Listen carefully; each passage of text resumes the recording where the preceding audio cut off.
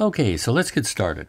So the first thing I'd like to do before I start a new project is go ahead and do a reset on Modo or actually go up to the uh, tab here and double click on the tab and that's going to kind of restore my UI to the baseline version. That's in case I have anything uh, left over from a previous project or a previous scene that uh, I don't want carried over into this new scene. So like I said earlier, uh, this is going to be a box modeling project. Uh, so the first thing we need to do is build a box. It's going to represent the volume of the model that we're building. So I'm going to click here to uh, unit primitives and I'm going to open the properties panel tool properties and uh, drag that out so it pins there. Now the position of this cube I want to be zero. So I'm going to click on these three things, these three little gang uh, buttons on the side here one time so that says equals and hit zero, hit the tab key and then they're all uh, at zero. Now for as far as the size goes, this is going to be a, roughly a size 10 last. So the uh, dimensions are going to be in, uh, I'm going to put them in centimeters here. Uh, and if you don't have your units set to um, meters and centimeters, you will have to type in cm after each one of the uh, uh parameters that you put in. So um, I'll just start off here. Uh, see, x I think is 9.7 uh, centimeters. And you do have to type lowercase. If you hit uppercase, then it defaults to meters. y, I believe, is 11 0.5 centimeters. Now I'm just going to hit the tab because I already have centimeters set up in my units. And uh, Z is going to be 27 centimeters and I'll hit the tab.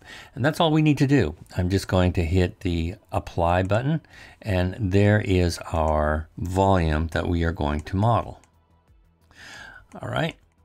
So the next thing we need to do is add some uh, backdrop images in the viewport to act as guides for us so we can model our shoe to.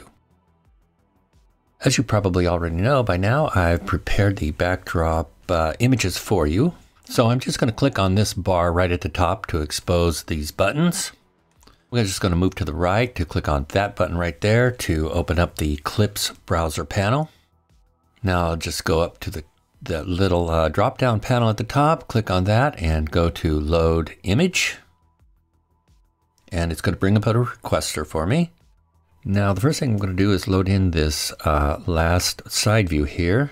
And now I'm going to go up to the scenes panel, the little drop down arrow right there, and go to add backdrop item. Now by default, the backdrop item that it adds is always a meter square and it's projected from the front. And in our case, we want it to project from the side and it'll be the right side for us. And we add an image to that by just clicking on that little button and it brings up the file browser. And there we go. Now, as you can see, Modo has resized the backdrop item to fit the image because it assumes that the image size is one centimeter per pixel. Now, as you can see, that makes for a very large backdrop item. Now I can try to adjust the pixel scale here to fit the, uh, the side of the box, but uh, I'm just guessing at that point. Or if I actually know the parameters, I can uh, put them up in the top uh, scale area. But the easiest thing to do would be to have the backdrop size snap to the size of the box. Well, we can do that quite easily by unchecking keep aspect, go down to use uniform size, and then select auto fit. And there it is. Now let's go ahead and add another backdrop, but this time for the uh, top-down view. And to do this, we're simply going to open up a, a file window and navigate over to where our images are stored.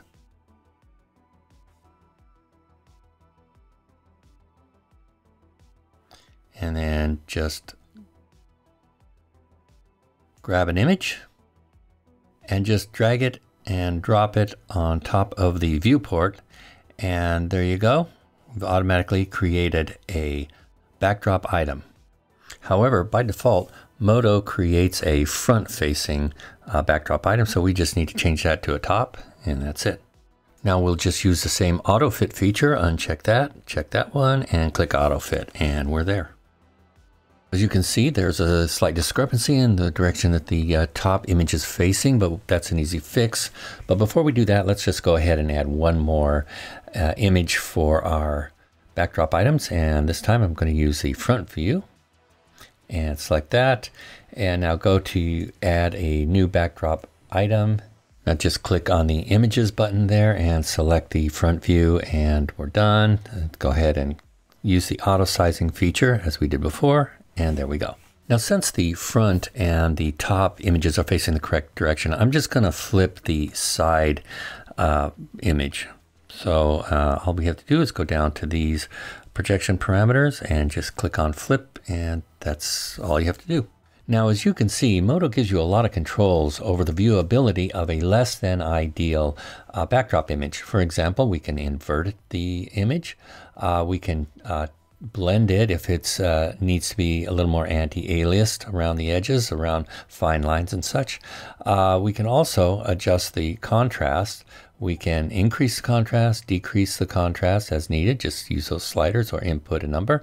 We can also decrease or increase the brightness if you want to view your image as a silhouette.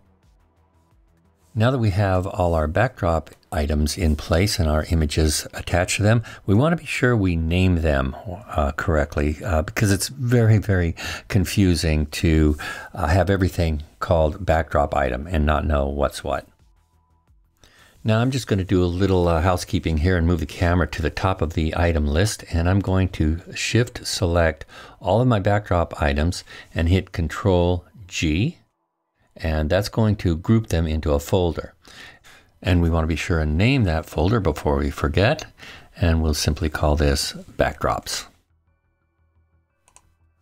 This way, if they're in a group, I can turn them all on and off at the same time, or open the group folder and turn them on and off individually. So there we go. So you'll notice right off the bat that there is a little bit of a problem here. There's a few things. One, I can't see through these images to my object, and I can't see through my object to the images. So that may be a little problematic for us. So what I'm going to do is set some viewport parameters. So uh, let me close the um, Clips Images panel and I'll clip on that little cog to bring up the viewport properties, or you can hit the O key, it'll do the same thing. Now in order to see through these backdrop images, in perspective view. And the reason I say perspective view is because it is different in perspective view than it is orthographic. Now, if I click on overlay drawing at the top there, you can see you can see through it. Now, topology mode will also work, but I think overlay drawing works a little bit better because it doesn't change the uh, gamma of the image as much. So now we have the images on our backdrop items nicely transparent. We can see through them to the uh, work plane grid below. We can also see our model behind it, and we can see through them to the other images uh, for the backdrop items. Uh, however, uh, there is another setting we need to take care of here. And let's go up to an orthographic view. Let's go to top view. And guess what? You cannot see any of the backdrop item images. What's going on here? So let's go ahead and click on overlay for the background imagery. And now we can see our images in orthographic view. One last thing I wanted to do is take the top view, or excuse me, the uh, top backdrop item and move it to the bottom of the model the ground plane, as it were. And uh, there we go. Now we're set up. So one last thing I want to do for the viewport setup is to turn off the uh, ground plane grid. And uh, I do this because it just adds a lot of visual noise to the scene when you're working with backdrops. So I'm just going to hit the control one, select toggle grid work plane at the bottom there of that pie pop-up menu, and we are ready to rock. But as always, don't forget to save your work.